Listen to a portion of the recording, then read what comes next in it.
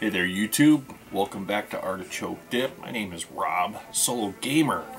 I call myself a solo gamer because I enjoy solo RPG games as well as recently solo board games. And in this video, we're going to talk about Fallout. Now,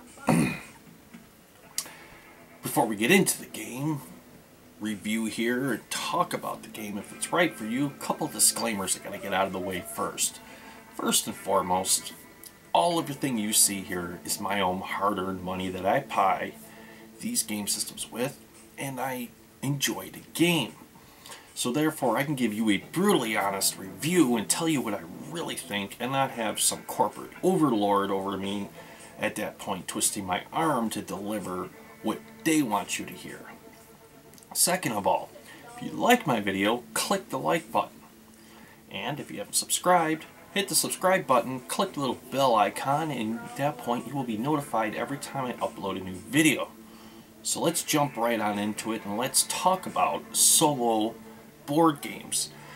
So on Kickstarter you see this and now this is made by Fantasy Flight Games.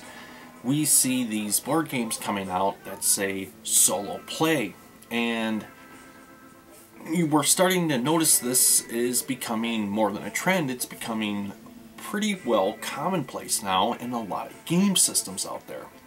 But do they all deliver on what they say is being a game that can have endless possibilities and replayability? Do they really deliver? Or are we buying a game strictly on the awesome art that they use to draw us in to only become basically a burden on our pocketbook and a dust collector for our shelf. Let's find out and jump into it.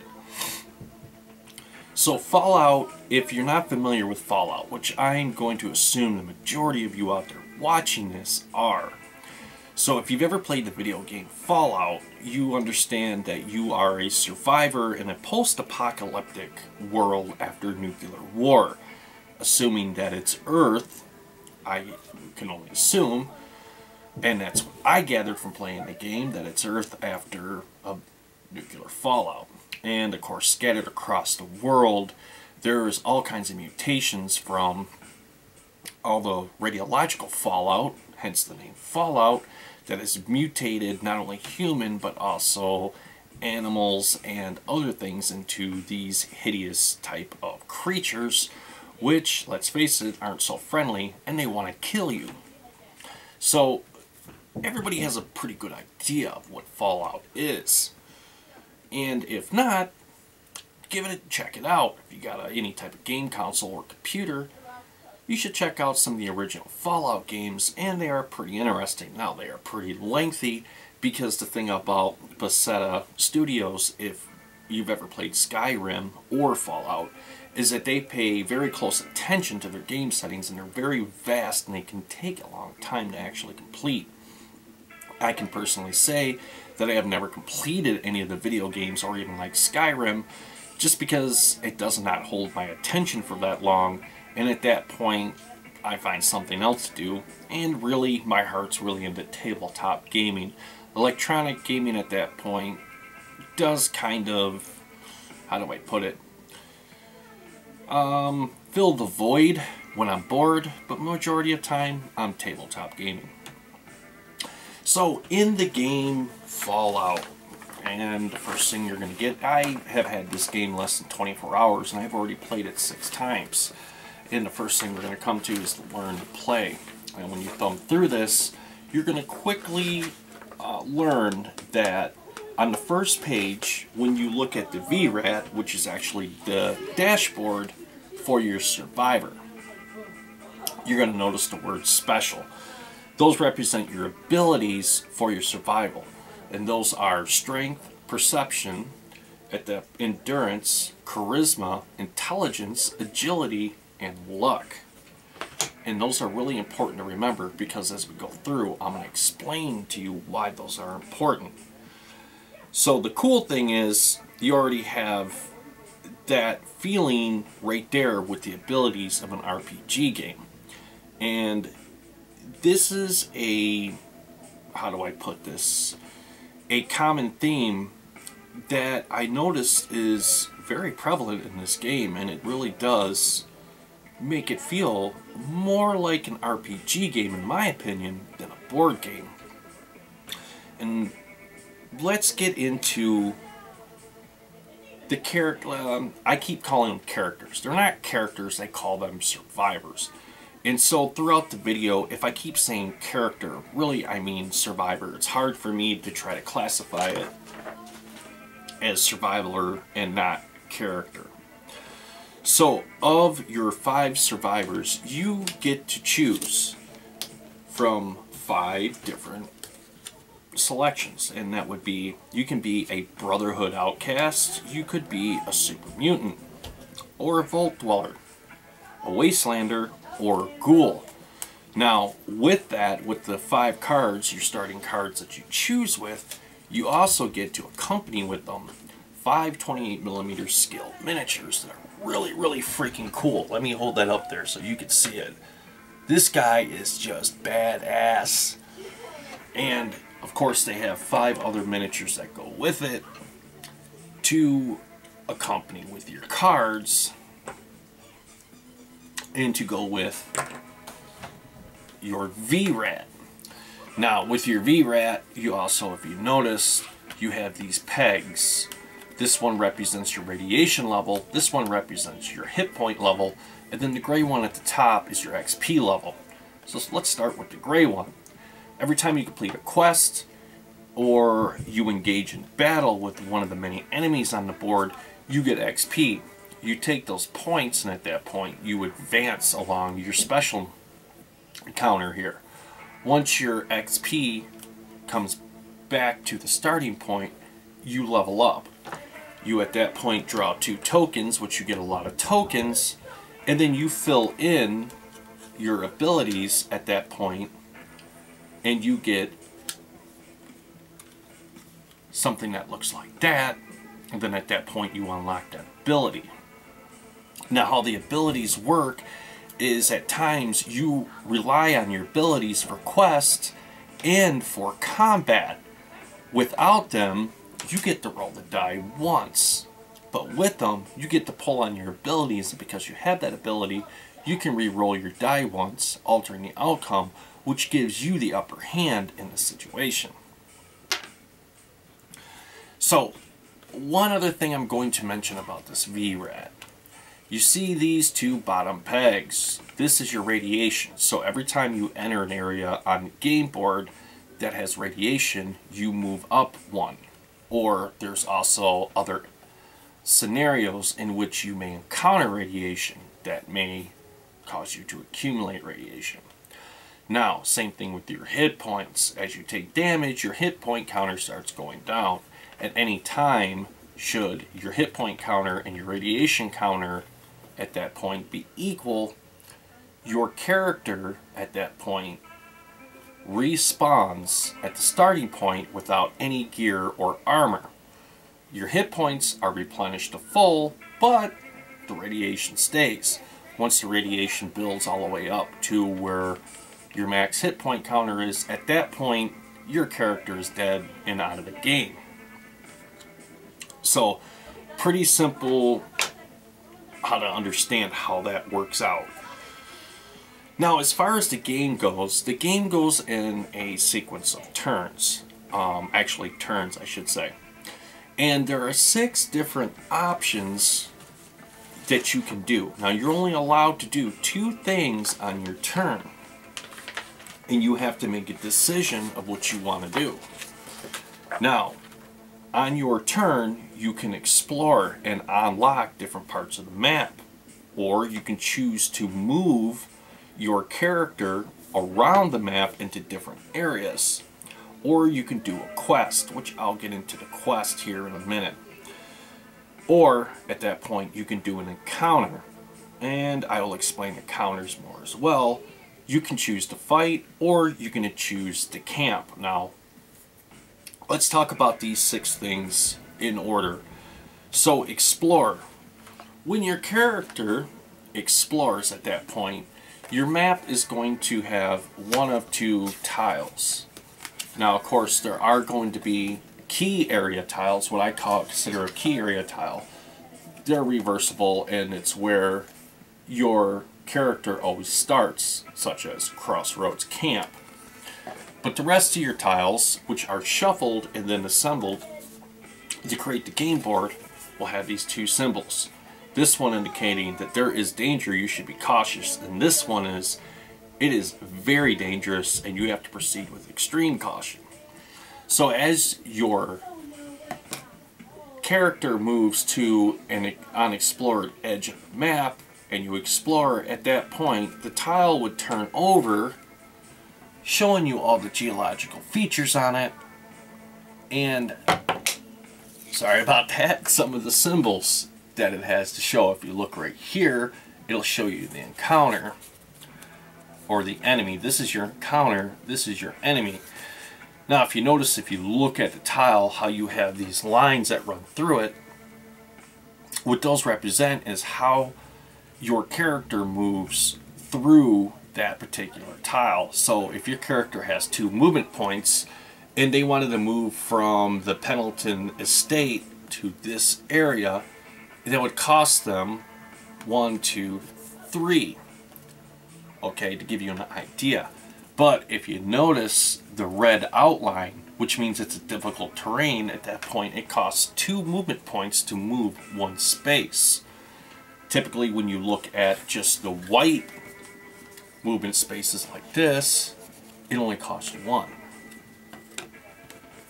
So at that point, you can move and explore the map and open that up. Or you can move with inside the tile you're already on and at that point go to an encounter. Now the encounters are broken up into two different categories depending on the symbol. So there's two symbols represented across all the tile boards in the game. This one representing settlement and this one representing ruins. And depending on which one you choose, you choose a card off the top of the deck flip it over, read the caption, and at that caption it's going to explain the scenario to you and give you one of two options to choose from. You choose that option and at that point you'd read the text below it, follow what it tells you to do, and sometimes you just make a simple decision and it'll take you to another area of the board, or you let the luck of the die determine the outcome one of two things can happen out of that. A, you can uh, gain some wealth out of that, or B, you can come face to face with danger. Now, the other thing is questing. When you first set up your game, your game comes with four scenario cards in it. And when you look at the scenario card and you turn it over on the back, it's going to show you how to lay out the map. You lay out the map according to this, and then at the top, it's going to give you card numbers. Now they give you two large stacks of quest cards. They all go in numerical order. You go in there, drawing your cards to build the main quest. Now, as you start the quest out, What's happening in the background of the story that you are part of is there are two warring factions. One that's represented by a red star, and the other one that's represented by a blue shield. And on the other side of your scenario card here, you'll notice there's this counter. They both start up here. Now, depending on how uh, the decisions you make in the quest, the luck of the die rolls, and then of course the agenda cards that are pulled will ultimately decide how the markers are moved along this scale. The first faction marker to reach the red one at that point wins the game. Now, when you start the quest out, at that point you have to make a decision as to which faction you, at that point, align yourself with. And how they do that is really cool. So in this scenario, I'm going to read this question to you. I'll let you viewers out there decide and you'll see how this works out. So this one is called Welcome to Far Harbor. A sickly green fog has spread across much of the island. Every structure you pass has been abandoned, but you see dangerous looking shapes moving in the mists. You could 1. The fog calls to you, travel into the mist, and let it embrace you. Or option 2. The strange machines are the only sign of civilization left on this island. Investigate them. So, what would you do? Would you walk into the green fog and embrace it? If you agreed to do that, then at that point, you would side with the blue shield. If you decided to investigate the machines that are operating the last signs of civilization, at that point, you would side yourself with the red star. Now, would you start the game out and as the quest moves along, as you complete the quest objective, it's going to give you a series of other cards to complete the quest. That quest keeps running throughout the game from the scenario. And through the encounter cards, these are more or less like smaller side quests that at that point will give you how do I put this? More options of the story, make it more the story more in depth, and give you an opportunity to find more loot. So the other thing that you can choose to do on your turn on the one of the two things is fight. Now the battle matrix of this system is extremely simple. You get three dice. All three dice at that point let me get this a little closer to the camera to show you, will represent a certain part of the body depending on what it is. And I mean, it's you look at them, it's just common sense stuff. It's nothing really too hard to pick up on. Now, if you notice down here, there's this what looks like a little cog wheel right there. That's one point. And then if we roll over here, you can see how there's two points. So now depending on the enemy you're going to fight, there's enemies that have to be in the same um, space, occupy the same space as you're in, which we consider melee. At that point, you can do battle. Others actually have weapons and have range, and they can be one space away from you and still engage you in battle. And let's use two different examples here. This is a rad scorpion. If we take a look here, you can see where you have to roll on the dice you have to have one point to kill the rad scorpion. And then over here in this corner of the box, it gives you these little symbols, which really aren't hard to learn. You just go to them. These two symbols represent one, the little lightning bolt tells you that this is a very aggressive enemy, and it's always going to try to attack you if it's in the same area. The arrow means if at any point you go to attack it and you miss, this enemy is going to retreat because it's somewhat cowardice and it's not going to stay the fight. Unlike this bounty hunter right here, if you take a look at this guy, so it's going to take two points to kill him and they outline right here the specific parts that you have to hit in order to take him out. Now what you'll notice here looks like a little sack that's actually what they consider trash, and at that point is their loot cards. You would draw a card if you defeat him, and then at the bottom you see what looks like a little gun. That means he's ranged. Now, you get this small stack of these loot cards with the game. And of course, as you draw the cards, um, depending on quests that you complete or enemies that you defeat, you get cards. The cards at that point can be traded in at the store for more Nuka-Cola tokens that they use in the game to upgrade your weapon and armor. Which is one thing I can say I really like about this game is the fact that at that point through questing you acquire money and defeating enemies and then you can use that money to really detail your character to the way that you want it through weapons and armor and which gives you an upper advantage overall in the game. So now aside of fighting, you can camp. Like I said, when you camp, there's stipulations to camping. With camping, you can't camp if there is an enemy on the same tile as you. It just doesn't work. You have to be on a tile by yourself, and at that point, you can camp. When you do camp, you recover three hit points. Also, one of the things that you pick up along the way that you find in your loot is you come across companion cards. And here's one we're going to use for an example. I'll hold it up to the camera so you can get a view of it. And this is Preston Garvey. As you can see there. Now let's read what Preston Garvey does. Preston Garvey um, exhaust to ignore the effects of difficult terrain until the end of your turn. Now going back to what I explained about terrain earlier, you would turn him, which would be 90 degrees to show that he's exhausted, and then at that point,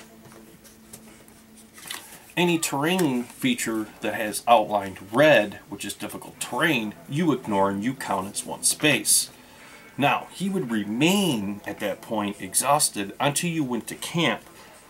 At that point, when you camp, he would on exhaust and you would be able to use him again, but not all companions work that way. So there's certain stipulations on the cards that you have to read that actually add more into this game. For example, with Preston Garvey here. So if there is not a a Vault 84 or a Vault 109 deck card, keep this companion win it on exhaust. So right there tells you if any of those deck cards are into play, 84 or 109, once he's exhausted, he's done and you lose him. But if not, you get to keep him and reuse him later on. Now, aside of your loot cards, you can also do some shopping. Now, there's specific areas of the map that you hit that allow you to access the store. And this is really when you get to upgrade.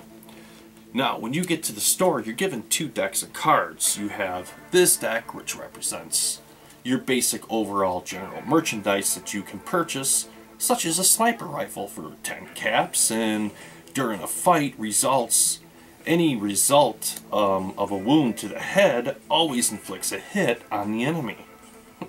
That's pretty cool. Um, or you could buy yourself a hazmat suit. During a test that uses endurance, add one hit. Each time you suffer a radiation, suffer one fewer because of your radiation suit. And those are your basically your typical items that you can buy. Or at that point, what I like to do with my game is when I do visit the stores, I'll use three of the regular I'll draw because they recommend four cards when you visit the store. I'll draw three of the common, and then I'll draw one uncommon, put them face down, and make my decision. And of course, in the uncommon cards, this is where you get to the really big bad weapons. And at that point, um, we have right here which costs us 11 caps. It's called the Fat Man. And before a fight, you test at that point your L, which would be your luck. So you would roll these bad boys. If you have a 3, you fail and you cannot spend on rerolls. But if you succeed during a fight, when you kill an enemy, kill one other enemy of equal or lower level within one space of the initial enemy that you killed. So as you can see, there's a lot of random chance to this game that will alter things. Now the last deck of cards that they do give you are these right here. Which these are your ability cards. So if you remember in the beginning I talked about your VRAD. So when you level up at that, you choose two tokens. If you choose two tokens, and those tokens, uh, I'm going to use an example, are E and L, which I already have, those tokens go back into the pile. And then at that point, you draw a card that is equal to an ability you already have. So I'm going to use E here, which this is called Lead Belly. And you discard to recover all of your radiation. that would go with the V-Rat, and then after it's used, it would be discarded and go back into the pile to be used at a later time. That is pretty much the overall actions that you can use on your turn. So, on your turn, you get to choose one of two. You can either explore, move, quest, encounter, fight, or camp. After you have done that, at that point, an agenda card is drawn. You draw the agenda card, and then when you look at it, the agenda card not only advances the um, warring factions that are going on behind the scenes and that you part of, but it also tells you what enemies activate on the board.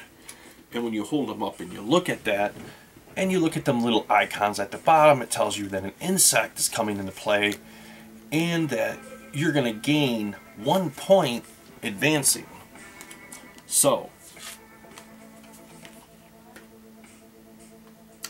with this, you're going to get plus one for every single point that they have advanced on the game board.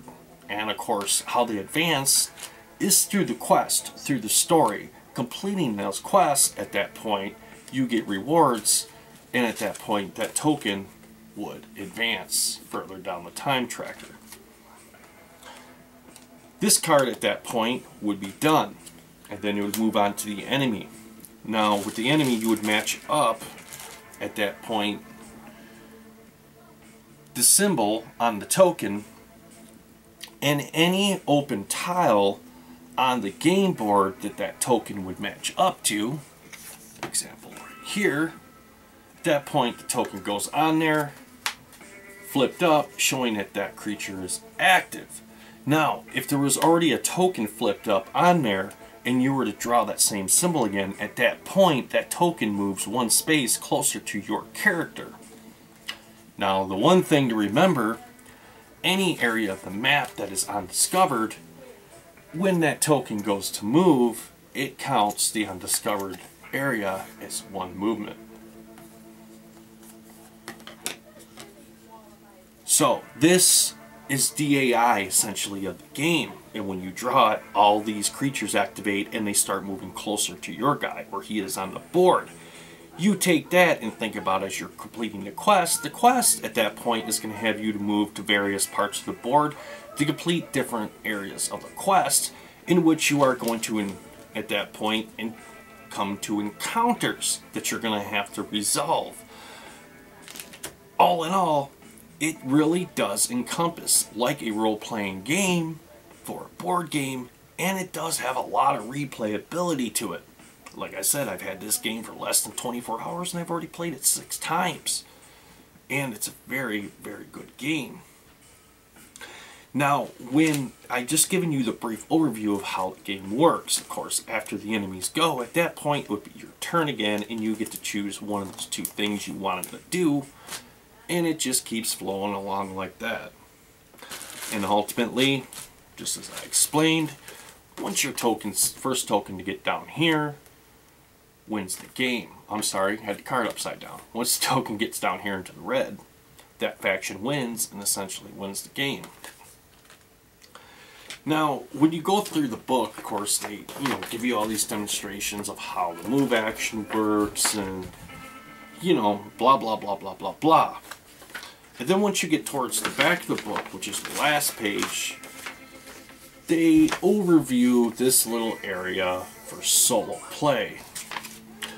So I read through it. Now there's a couple of things in here that I do like that I kept in, and then there's one thing in here that I got rid of. I did not like it. And I'm going to read these to you so you may understand why, especially for you solo players out there. When playing Fallout Solo, follow all the standard rules for the game with the following exceptions. 1. When a quest requires you to be in the same space as another survivor. This is the part I do not understand because if you're playing the solo, you're playing one character, so there's only one survivor on the board. But I guess you could play two survivors if you wanted to, which would make sense. Anyway, when a quest requires you to be in the same space as another survivor, you must be in a settlement space, which one of these guys, if you look right here, to me it looks like a bus, but that's supposed to be a building or a settlement representation in another in a space instead. If it requires the other survivor to make a test they are assumed to have a result of three. So to put it in a nutshell if you're required to do a test to one survivor you both have to be on the settlement. And before you even roll your dice it's assumed that your other survivor already has a result of three so you have to roll a four or better. So that right there um, does add some, actually it adds a lot of challenge into the game, particularly solo. Two, when resolving encounter cards, read them yourself. Now this rule to me is kind of moronic, and I don't even understand why they even put this in the book. But evidently they had to. So when you go to resolve an encounter card, what they want you to do is read the caption. And um, so I'm gonna I'm gonna read this card to you so you get an idea of what they're talking about. As you pick through the ruins, you spot a figure on the ground. As you approach, you see that it is a dead man. He has no weapons or gear.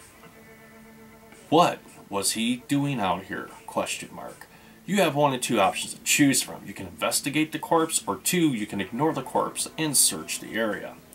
Now, what they're talking about is they're saying, don't read the card entirely, the outcomes, read this to yourself out loud to make your decision.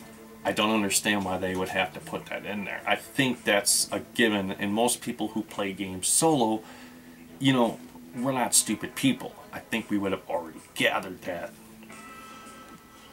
the third rule, which is the rule that I left out and I pulled out and I just completely did not agree with it, was this one. When the agenda deck is depleted, which is this, so as you take your turns and you draw these cards, once the card is out, the last card is drawn, at that point they say the deck is depleted. So when the agenda deck is depleted, Advance only the power token for the faction that currently has less power. If the factions are tied for power, they both advance as normal. Okay, this is the part I don't agree with.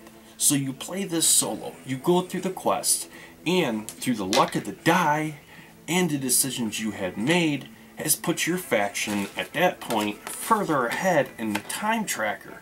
But according to their solo rules, if the AI's time tracker is further behind, you should advance them further. I did not agree with that rule for solo play.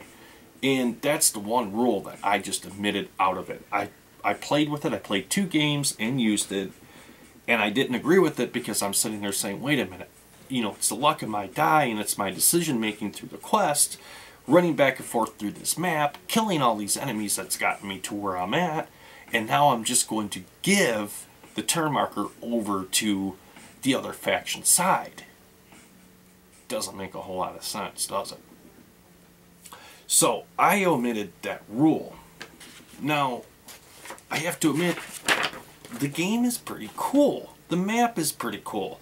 And when you set the map up, of course, you have your um, features on one side, and like if you look at this one, this is heavily uh, radiated, so if your character was to step into this green area, you take one radiation point. This area is clear, but you can obviously see the enemies that you'll encounter there, and there is one settlement there. Now, these are all different. You set these down, and at that point you shuffle them up. You build the map according to the way that the scenario chart shows you and every time it's a different map when you play which is really cool. But what I found myself focusing on and what I thought was really really cool and I played a game last night and it lasted quite a while but I finally did achieve the quest. And they give you two large decks of quest cards. And when I say large I mean large decks of quest cards. Here, you know, boom, these babies right here. So every time you go through the quest and you answer that question and you make the decision, at that point, it's going to give you one, two, or possibly upwards to three other card numbers it tells you to go to to continue through the quests. Now, all the cards are in numerical order, so it's very easy to find them. You pull them out, and then just like you did in the beginning when I read this to you and you all decided which side of the faction you were on, you follow the story through, which will take you through the map, take you through some sticky situations, and once again, luck of the die. And I found that to be very, very cool. And it was like a role-playing game. At that point, you're more immersed in the story than you are at that point of the whole entire agenda thing that's going on. Who's going to win, the Red Star or the Blue Shield, you know? And that's another way that you can reuse this and play this game, which is really, really awesome. And it's an aspect that I really enjoyed and I can foresee myself at that point using a lot. And on top of that, incorporating some of these ideas into solo RPGs and heck, why not? You can use these quest items and you can create some pretty wild characters off of using a D20 system for role-playing and reusing the map along with those and have some pretty cool RPGs. It's getting a little off course. So, all in all, I said I would rate this game and talk about it and be brutally honest about it. And we're getting to that point of the game. I mean, I've pretty much showed you how you set the game map up. The game map is pretty um, simple. I mean, you get these and you arrange them to create the map on the scenario cards. I like that. I like the fact that they're pretty durable, thick card stock, and um, they're not cheap. That's a plus too. The one thing I hate about the system and my biggest complaint about the system are the freaking cards. Why would you give me normal size cards like these that I can handle and use, but then you give me a bunch of these small, ridiculous little itty bitty cards that have a tendency, A, hard to manage and keep in a playing area, and I have a large table I'm playing on here, and even those become a pain in the butt but on top of that, you're going to give me four, actually five decks of these things of different things to be able to keep track of on the game and utilize. To me, it would have made more sense to just make larger cards like this to make it more easier to manage.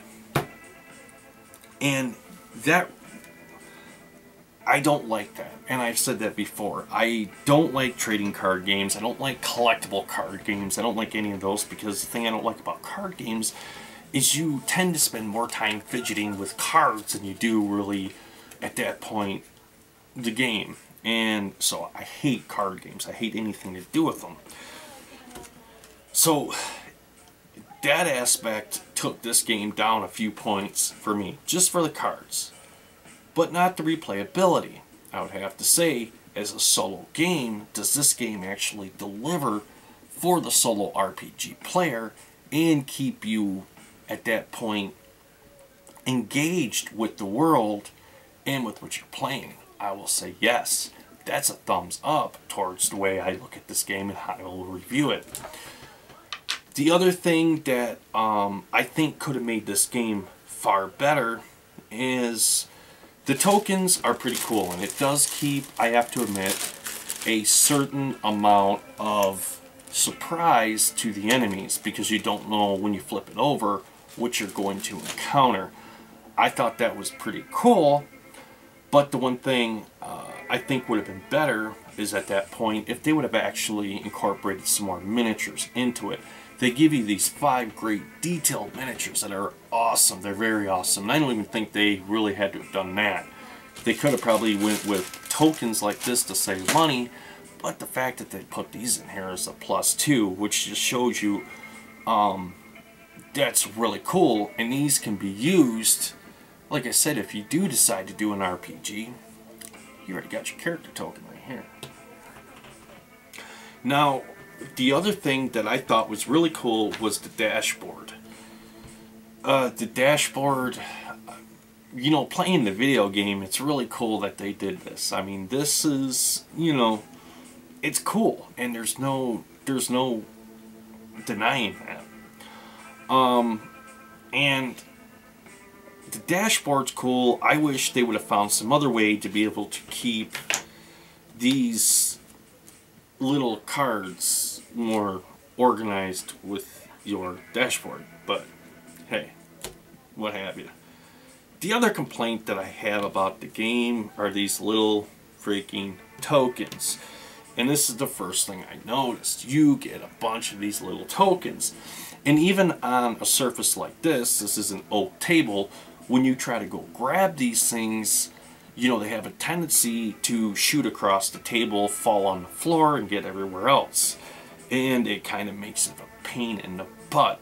And it's just another one of those things um, with game systems that I ranks up there with cards that I just absolutely hate. I hate when ugh, that type of stuff that just drives you bonkers and it makes a mess.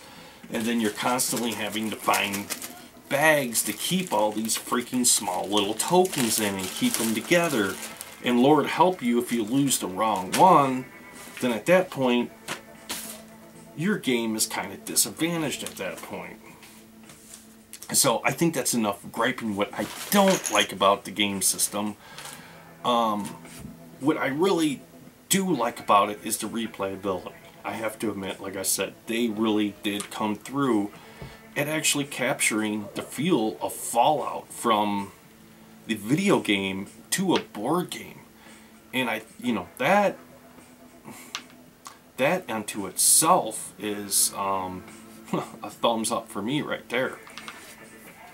Now, depending on where you look, I happen to buy this copy on a Black Friday sale on Amazon for about 25 bucks. And normally it retails for about $47 and I've even seen it higher depending on where you go to shop. Obviously, um, you know, if you're a smart shopper, you're going to look around and you're going to find places that are running sales to get it a little cheaper. Or I guess you could walk into um, a local game shop and try to purchase this, but at that point I'm sure they're going to tack a few bucks on just having it on their shelf and the convenience of you walking in and spending money. But is it worth it? So that's what you're asking me, Artichoke. Is this game really worth it? It is worth it. And it does deliver on its promise for a solo game experience. And at that point, it is immersive and you really can get into this game. And it has a high amount of replayability to it with the scenarios changing. The thing I don't like and I hope to see in the future is that they have more scenarios because with this game you get four scenarios. So even though your decisions, your quest that you make will alter the game system and the constant changing map will change everything on it, it still only leaves you with four. So maybe in the future we'll see some expansions giving you some more game scenarios to go with and some more terrain tiles to go with it as well. I guess we'll have to wait and see with what that does. So adding all this stuff up, where would I rate this? For me, to make my opinion on it, for you guys out there to decide if you want this for your game table or not. So replayability. I'm going to say replayability right there rates it way high. I'm going to say that puts it like up around an 8 for me, an 8 out of 10. The the fact that you had these quests and it's like a RPG game and you can really get into it, you know, that bumps it up even more. That takes it up to like about an 8 out of 10. The fact that you get these cool 28 millimeter miniatures with it that are so detailed and the work that they put into it at that point takes me up to I'm going to say a 9 out of 10 but the one thing that just takes the numbers down are all these ridiculous cards just these small cards that just get everywhere. And then I just can't bring myself to I love this game don't get me wrong. And the cards are just one thing that I just don't like about the game so at that point I'm going to say my personal rating, I'm going to give this game 9 out of 10. I'm going to knock it down one peg just because of the cards. I just don't like the cards. And I know other people out there who enjoy card games may love this system for the fact that you have so many cards that you need probably another entire table to put them all to organize them.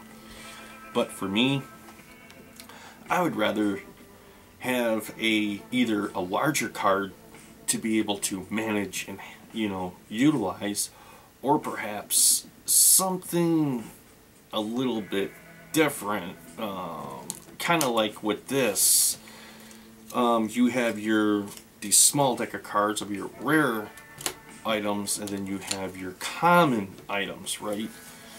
So, you know, I think they could have done that differently, combined it maybe into one deck, and maybe changed something on the front of this. You know, this isn't a rare item, this is a common item and it would have saved on one deck of cards. But anyways, all in all guys, this game really does deliver on what it talks about. Solo play, absolutely.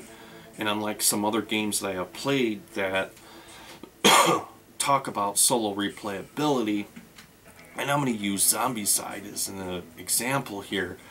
So Zombicide, even though one player utilizing force um, survivors at that point, can play that game. The one thing about Zombicide is you go through the booklet and you're given the scenarios and the maps to build out of there.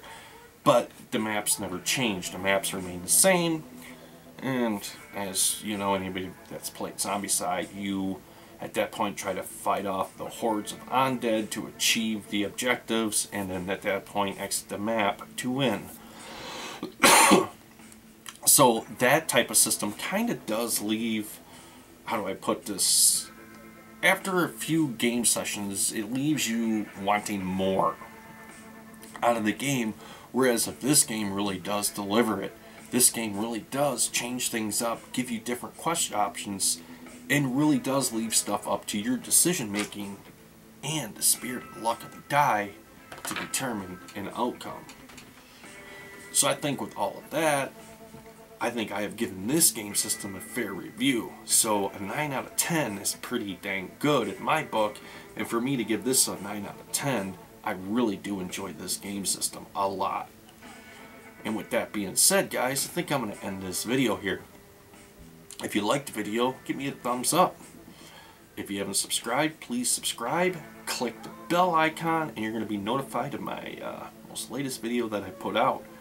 Now, with that being said, I think I'm going to go scrounge up some uh, Thanksgiving leftovers and uh, I'm going to get into another game of Fallout. Alright guys, game on my friends. Always look forward to hearing from you and for my new subscribers out there.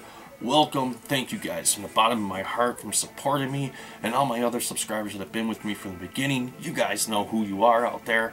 Thank you so much. I hope to move forward and I hope to gain more subscribers and be able to get more game systems and to talk about them to keep you guys informed. So when you guys decide to go out and buy that game system, make a decision as to whether it's the right one for you and you're not getting a dust collector. Alright guys, talk to you later. Artichoke Dip, out.